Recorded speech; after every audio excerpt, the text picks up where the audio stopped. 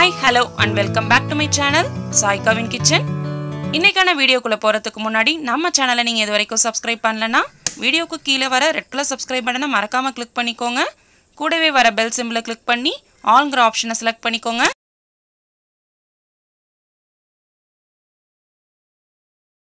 பச்சை பயிறு சுழியன் செய்கிறதுக்கு நான் இன்றைக்கி ஒரு கப் அளவு பச்சை பயிரை ஓவர் நைட் ஊற வச்சு அந்த குக்கரில் சேர்த்து ஒரு விசில் இந்த மாதிரி நல்லா மசியை வேக வச்சு எடுத்து வச்சுருக்கேன். ஒரு விசில் விட்டிங்கனாவே போதும். இந்தளவு நல்லா மசிய வரும். அப்படி இல்லை அப்படின்னா இன்னொரு ரெண்டு விசில் விட்டுக்கலாம். வேக வச்ச இந்த பச்சை பயிரை இப்போ நல்லா மேஷர் வச்சு இந்த மாதிரி வந்து நல்லா மசிச்சுக்கோங்க. இப்போ இந்த மசிச்ச இந்த பச்சை பயிறு ஒரு பக்கம் இருக்கட்டும். அடுத்ததான் நம்ம ஸ்டஃபிங் செய்ய ஸ்டார்ட் பண்ணிடலாம். அதுக்கு ஒரு பேனில் கொஞ்சமாக நெய் சேர்த்துக்கோங்க. இப்போ நம்ம எடுத்திருக்க அந்த ஒரு கப் அளவு வேக வச்ச பச்சை பயிருக்கு நான் இன்றைக்கி அரை கப் அளவு வெள்ளை பாகு எடுத்திருக்கேன். நான் ஆல்ரெடி பாகு ரெடி பண்ணி வச்சுருக்கேன் அப்படிங்கிறதுனால பாகாரே சேர்த்துக்கிட்டேன். நீங்கள் வெள்ளம் எடுத்தீங்க அப்படின்னா ஒரு அரை கப் அளவு வெல்லம் எடுத்து கால் கப் அளவு தண்ணி சேர்த்து நல்லா திக்காக அந்த மாதிரி பாக கரைச்சி எடுத்துக்கோங்க. வாசனைக்காக அதை கொஞ்சமாக ஏலக்காய் தூள் சேர்த்துருக்கேன். இப்போ இந்த கொதிச்சிட்டு இருக்க வெள்ளை பாகில் ரெண்டு டேபிள் ஸ்பூன் அளவு திருவண தேங்காய் சேர்த்துக்கலாம். வெள்ளைப்பாகு நல்லா திக்காக இருக்கிற மாதிரி பார்த்துக்கோங்க. அப்போ தான் வந்துட்டு சீக்கிரமாக வந்து செட் ஆகி வரும். நம்ம யூஸ்வலாக சுழியனுக்கு கடலப்பருப்பில் தான் வந்து ஸ்டஃபிங் செய்வோம். இதெல்லாம் கொஞ்சம் ஹெல்த்தியாக நான் பச்சை பயிர் வச்சு செய்வோம். ஆனால் யாருமே டேஸ்ட் வந்து கண்டுபிடிக்க முடியாது. அந் இதை ஒரு தடவை செஞ்சு பார்த்துட்டிங்கன்னா நம்ம கடலப்பருப்பு வச்சு செய்ய மாட்டீங்க. அந்தளவுக்கு இதோட டேஸ்ட்டுக்கு வந்து நீங்கள் அடிக்ட் ஆகிடுவீங்க இப்போ தேங்காயெல்லாம் சேர்த்துட்டு நல்லா ஓரளவுக்கு ஹை ஃப்ளேமில் வச்சு இந்த பாகு எல்லாத்தையும் நல்லா கொதிக்க விட்டுருங்க. அப்போ பாகு இந்தளவு நல்லா கொதிச்சிட்டு இருக்கும் பொழுது நம்ம ஆல்ரெடி மசிச்சு வச்சுருக்க இந்த பச்சை பயிரை சேர்த்து இதோட கிளறி விட்டுக்கலாம்.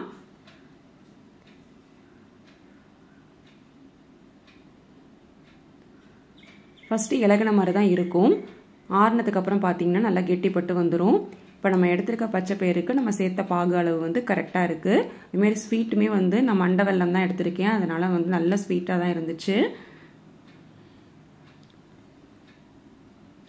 ரொம்பவும் வந்து மசி மசிக்கும் பொழுது ரொம்ப நெய்யை மசிச்சிடாம ஓரளவுக்கு நமக்கு சாப்பிடும் பொழுது தட்டுப்படுற மாதிரி ஓரளவு இருக்கணும்.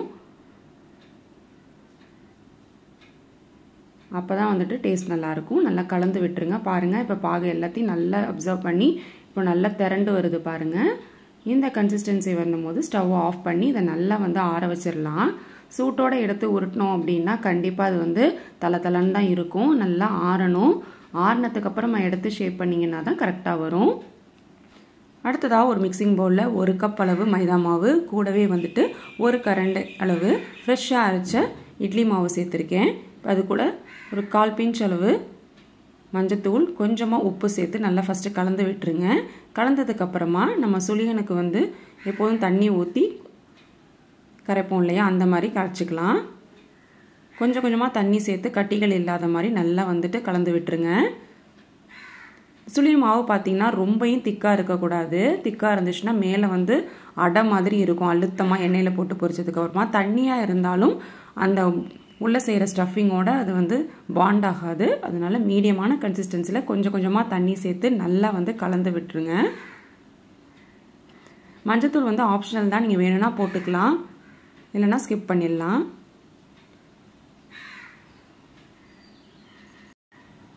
பாருங்கள் இந்தளவு இந்த கன்சிஸ்டன்சியில் கரைச்சதுக்கப்புறமா இப்போ பச்சை பயிர் வந்து நல்லா ஆறிடுச்சு.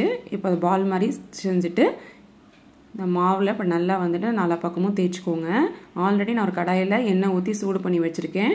இப்போது எடுத்து வச்ச அந்த உருண்டைகளில் அந்த மாவில் டிப் பண்ணி நம்ம போட்டுக்கலாம். எண்ணெய் வந்து நல்லா மீடியமான ஃப்ளேமில் இருக்கிற மாதிரி பார்த்துக்கோங்க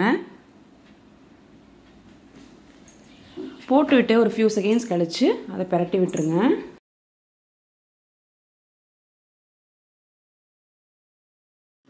பாருங்கள் ஒரு பக்கம் நல்லா வெந்திருக்கு பார்த்தாலே தெரியுது. இன்னொரு பக்கம் வெந்துட்டுருக்கு. அதே மாதிரி நம்ம மாவில் டிப் பண்ணி ஒவ்வொரு சுழியனாக பொறிச்சு எடுத்துக்கலாம். பச்சைப்பயிறு வச்சு ரொம்பவே ஹெல்த்தியாக செய்யக்கூடிய இந்த பச்சைப்பயிறு சுழியன் ரெசிபி நீங்களும் உங்கள் வீட்டில் மறக்காமல் ட்ரை பண்ணி பாருங்கள் டேஸ்ட் ரொம்பவே சூப்பராக இருக்கும். கண்டிப்பாக குழந்தைங்களும் விரும்பி சாப்பிடுவாங்க. ஒரே மாதிரி சுண்டல் அடை இந்தமாதிரி செஞ்சு கொடுக்கறதுக்கு இந்த மாதிரி இனிப்பு செஞ்சு கொடுத்தீங்கன்னா எல்லாமே விரும்பி சாப்பிடுவாங்க. இந்த ரெசிபி உங்களுக்கு பிடிச்சிருந்துச்சுன்னா மறக்காமல் லைக் பண்ணுங்கள் ஷேர் பண்ணுங்கள் நம்ம சேனலுக்கு சப்ஸ்கிரைப் பண்ணால் சப்ஸ்கிரைப் பண்ணிக்கோங்க. கூடவே இருக்க பெல் பட்டனை கிளிக் பண்ணி ஆல்கிற ஆப்ஷனையும் செலக்ட் பண்ணிக்கோங்க. நம்ம சேனலில் நிறைய ஸ்நாக்ஸ் ரெசிபிஸ் வந்து நான் அப்லோட் பண்ணியிருக்கேன். அந்த ரெசிபிஸோட லிங்க் வந்துட்டு என் கார்டு என் பட்டனில் தர வேணுங்கிறவங்க செக் பண்ணிக்கோங்க. சேனல்லையும் போய் விசிட் பண்ணி பாருங்கள் வேறு ஒரு இன்ட்ரெஸ்டிங்கான வீடியோவில் உங்கள் மீட் பண்ணுறேன் அது வரைக்கும் சேனலை தொடர்ந்து support பண்ணிட்டுருங்க until then take care bye